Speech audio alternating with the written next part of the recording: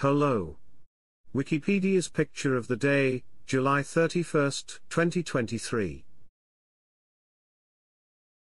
Today's video is about Giuseppe Verdi. Giuseppe Verdi, 1813 to 1901, was an Italian composer best known for his operas.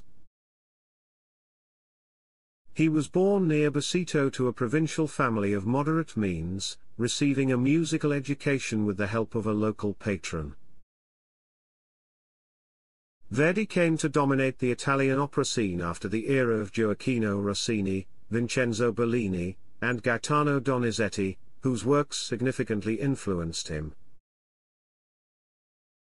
This group portrait, taken at Villa Verdi, his residence in Sant'Agata near Busseto in 1900, shows Verdi, seated in the middle, with various family and friends.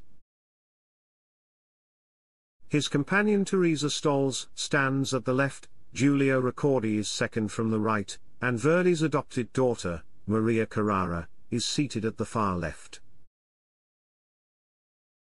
Also in the photograph is the painter Leopoldo Metlicovitz, standing on the far right. Thanks for watching. And don't forget to like, comment, and share.